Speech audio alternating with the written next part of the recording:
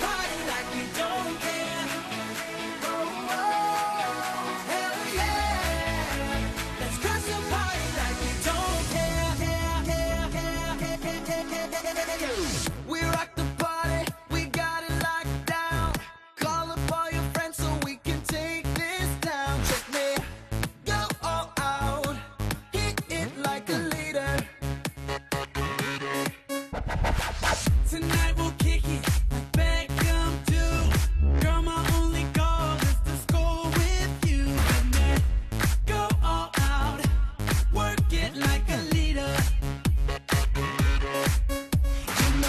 graduated from the school.